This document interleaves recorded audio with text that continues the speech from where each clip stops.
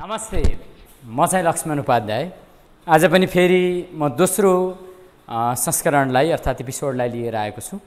कक्षा दसको बायोलोजी अन्तर्गतका पोर्सनहरूलाई टार्गेट गरेर हाम्रो युनिक एजुकेसन सेन्टरले तपाईँहरू समक्ष आवश्यक और एकदमै महत्त्वपूर्ण प्रश्नहरू र इम्पोर्टेन्ट क्वेसनहरूलाई चाहिँ सिलेक्सन गरेर र त्यो सँगसँगै के बेसिक नलेजहरू र तपाईँहरूले जान्नै पर्ने कुराहरूलाई आज तपाईँहरू समक्ष चाहिँ पेस गर्नेछौँ। म आज तपाईँहरूलाई प्लान्ट्सको ट्र्याकियोफाइटा डिभिजनलाई चाहिँ क्लासिफाई गरेर त्यसको केही जनरल क्यारेक्टरिस्टिक्सहरूलाई भन्नेछु र केही इक्जाम्पलहरू सहित तपाईँहरूलाई देखाउनेछु। डिभिजन ट्र्याकियोफाइटा जो चाहिँ भेसल्सहरूले बनेको or they are made by the tracheids or they are made by the vascular bundle also so xylem र फ्लेमहरूको डेभलपमेन्ट सुरुवात भएको छ यो ट्र्याकियोफाइटाबाट हामीले योभन्दा अगाडिको एपिसोडमा टेरिटोफाइट्सलाई पढेका थियौँ।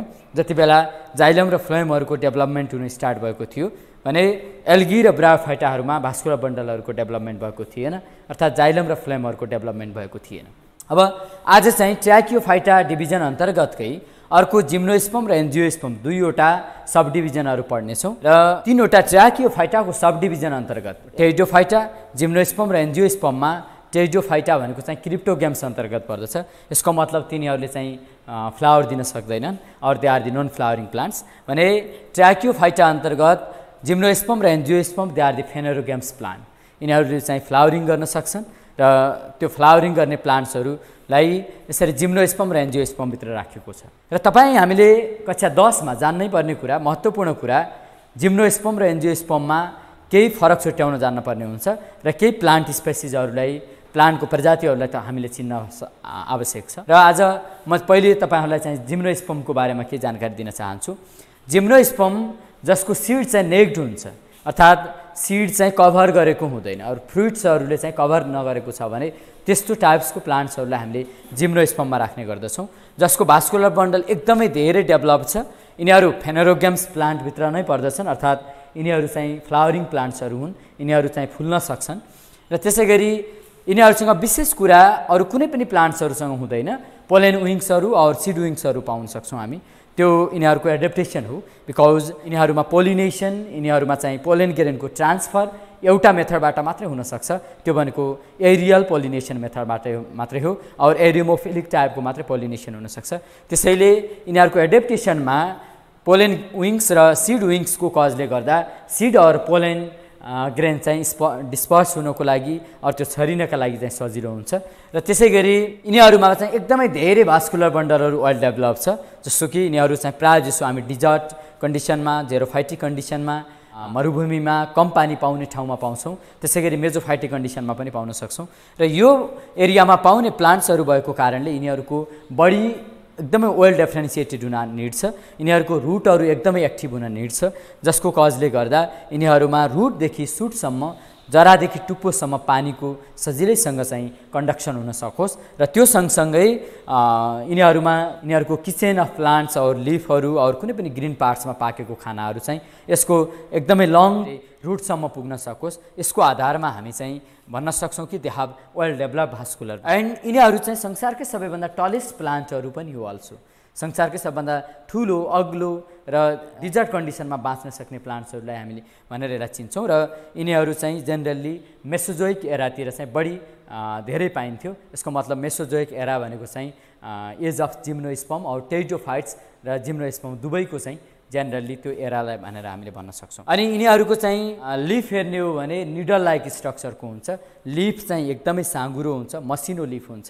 यसको बारेमा हामी तप हामीले हाम्रो घर वरिपरि पाउने अर्थात् हामीहरूको पहाडी एरियामा पाउने।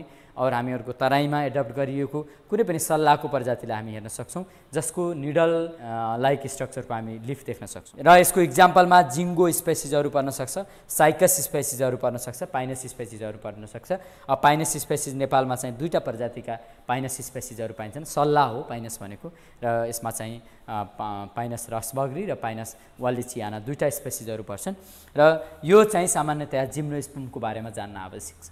अब आवश्यक क्वेसन तपाईँहरूलाई जान्नुपर्ने आवश्यक कुरा चाहिँ के हो भने हामी तपाईँलाई एउटा कुनै क्यारेक्टरिस्टिक्स भन्छौँ जस्तो कि प्र तपाईँको परीक्षामा तपाईँको इक्जाममा कुनै क्वेसन आयो लिफहरू चाहिँ निडर लाइक स्ट्रक्चरको छ रुटहरू वेल डेभलप छ भास्कुलर बन्डल भएको प्लान्ट्स हो but there seed are naked in nature भनेर त्यसरी क्वेसन आयो भने ओपन टाइपको सिडहरू छ भन्ने क्वेसन आयो भने तपाईँहरूले त्यति बेला यो कुन प्लान्ट हुनसक्छ भनेर तपाईँलाई अब्जेक्टिभ क्वेसनमा सोध्न सक्छ।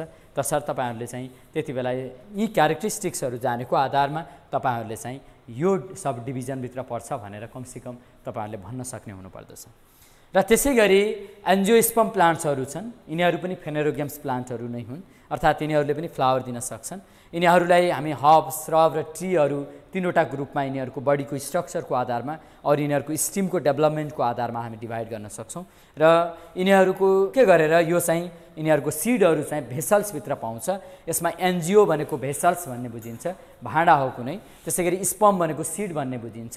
त्यसैले त्यस्तो भाँडा जहाँभित्र सिडहरू पाइन्छ अर्थात् सिडहरू चाहिँ कभर्ड गरिएको छ भाँडाभित्र छ त्यो भनेको चाहिँ फ्रुइट्स हो। अरू ओभरीको डेभलपमेन्टबाट फ्रुइट बन्छ।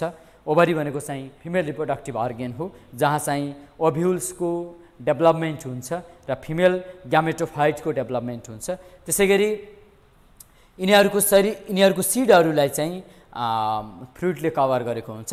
र यिनीहरू यो समय जुन अहिलेको हामीहरूको समय चलिरहेको छ हामी जताततै चाहिँ धेरै एन्जियोस्पमहरू भेट्न सक्छौँ। त्यो एन्जियोस्पमहरू धेरै डोमिनेन्ट कन्डिसनमा रुलिङ कन्डिसनमा पाएको कारणले हामीले this age is call the age of angiosperm पनि भन्ने गर्दछौँ। र फेनोरग्याम्स प्लान्टहरू हो फ्लावरिङ हुनसक्छ त्यसै गरी डबल फर्टिलाइजेसन र टिर्बल फ्युजन हुन्छ। यसमा तपाईँहरूले कक्षा दसमा यदि तपाईँहरूलाई जेनरल क्यारेक्टरिस्टिक्स अफ एन्जियोस्पम भनेर लेख्न आयो भने दुईवटा कुरालाई नछुट्याउनु होला। एउटा कुरा भनेको यिनीहरूको सिडहरू फ्रुइटभित्र कभर गरेको हुन्छ एउटा मुख्य कुरा हो। र दोस्रो कुरा भनेको जसमा डबल फर्टिलाइजेसन हुन्छ र ट्रिपल फ्युजन हुन्छ यो कुरा चाहिँ एउटा महत्व अर्को महत्त्वपूर्ण कुरा हो। यो डबल फर्टिलाइजेसन ट्रिपल फ्युजनको बारेमा मैले केही अर्को एपिसोडमा तपाईँहरू समक्ष राख्ने नै छु। तर आज यति कुरा बुझ्नुहोस् कि यिनीहरूमा फर्टिलाइजेसन हुँदा टु टाइम्स फर्टिलाइजेसन हुन्छ र न्युक्लियाहरूको फ्युजन अरू न्युक्लियसहरूको फ्युजन ग्यामेटभित्रको न्युक्लियसहरूको फ्युजन थ्री टाइम्स हुन्छ। यो कुरा बुझिदिनु होला र यो दुईवटा कुरा double fertilisation triple fusion and सिडहरूलाई चाहिँ फ्रुटभित्र कभर गरेको कुरा चाहिँ नबिर्सिनु होला। त्यसै गरी अब हामी यो दुईवटा कुरा मैले फेरि पनि रिभाइज गरेर भने दुईवटा कुरालाई चाहिँ नबिर्सेर लेख्न सक लेख्नु होला। र यिनीहरूमा भास्कुलर बन्डल चाहिँ वेल डेभलप छ। र त्यसै गरी यिनीहरूको इम्ब्रायो चाहिँ डेभलप्ड हुन्छ इन्टु दि फ्रुइट और यिनीहरूमा चाहिँ जुन फिमेल ग्यामेटोफाइट हुन्छ फिमेल जुन चाहिँ ओभरी पार्ट हुन्छ त्यो ओभरी पार्ट चाहिँ डेभलप्ड हुन्छ म्याच्योर्ड हुन्छ इन्टु दि फ्रुइट्स एन्ड त्यो फ्रुइट जस्तो कि हामीले स्याउको एउटा दानालाई हेर्ने हो भने यो स्याउको दानाभित्र यो लाइनमा चाहिँ सिडहरू यसरी बसेका हुन्छन् र त्यसै गरी फ्रुट्स बाहिरपट्टि हुन्छ। जुन पार्ट इडिबल छ खान मिल्ने छ त्यो चाहिँ ओभरीबाट डेभलप हुन्छ भने अरू बाँकी भित्र भएको ग्यामेटको फ्युजनबाट बनेको जुन पार्ट छ जसलाई हामीले फर्टिलाइजेसन बनेबाट बनेको जुन पार्ट छ यो कुरा चाहिँ सिड हुनसक्छ अर्थात् तपाईँहरूले सोध्नुहोला बनानाहरूमा सिड किन बन्दैन भनेर सोध्नुहोला। They are the they are फ्रु fruits are develop as a parthenocarpic fruit अरू यसलाई हामीले भन्न सक्छौँ जो चाहिँ अनफर्टिलाइज टाइपको चाहिँ फ्रुइट हो जसमा चाहिँ ग्यामेटको फ्युजन भएको हुँदैन। त्यसैले हामीले सिड पाउन सक्दैनौँ। अर्थात् सिड बन्नका लागि फर्टिलाइजेसन निड छ। फर्टिलाइजेसन भनेको चाहिँ ग्यामेटको फ्युजन हो। गर्भाधान भन्छ फर्टिलाइजेसनलाई यसरी बुझ्नुपर्ने हुन्छ। र यसको इक्जाम्पलमा ग्रासेसहरू होइन? साइनोडनहरू दुबोहरू पर्न सक्छ। त्यसै गरी कोगन ग्रासहरू सिरुहरू प्लान्ट्सहरू पर्न सक्छ। यस्तो प्लान्टहरू पर्दछन्। भने त्यसै गरी पिपल जस्तो अग्लो प्लान्ट्सहरू पनि यसभित्र पर्दै गर्दछन्। होइन? लिप्टिसहरू जस्तो अग्लो प्लान्ट्सहरू पनि यो भित्र पर्छन्। अरू एन्जियोस्पमको सबैभन्दा अग्लो प्लान्ट हामीले लिप्टिस अरू युक्यालिप्टसलाई भन्ने गर्छौँ चाहिँ अस्ट्रेलियाको नेटिभ स्पेसिस हो र हाम्रो नेपालमा यसलाई कमर्सियल युज पनि गर्ने गरेको छ। र यी कुराहरूलाई चाहिँ विशेष गरेर तपाईँहरूले ध्यान दिनुहुनेछ भन्ने मैले आशा लिएको छु। र एन्जियोस्पम हामी यो एजमा एन्जियोस्पम को एज भनेर चिन्ने भएको कारणले गर्दा तपाईँलाई प्रश्न सोध्न सक्छ किन चाहिँ पिपल एन्जियोस्पम प्लान्ट हो भनेर भन्न सक्छ। तपाईँले दुईवटा मुख्य कुराहरूलाई चाहिँ लेख्न नछुटाउनु होला। एउटा कुरा यिनीहरूको सिड चाहिँ फ्रुटभित्र कभर गरेको हुन्छ। अर्को कुरा चाहिँ यिनीहरूमा डबल फर्टिलाइजेसन र ट्युबल फ्युजन हुन्छ। यो दुईवटा महत्त्वपूर्ण कुरालाई नछुटाउनु होला र यो अरूभन्दा डिसिमिलर कुरा हो। अरू प्लान्ट्सहरू अरू डिभिजन अरू सब डिभिजनभन्दा डिसिमिलर कुरा हो। धन्यवाद नमस्कार।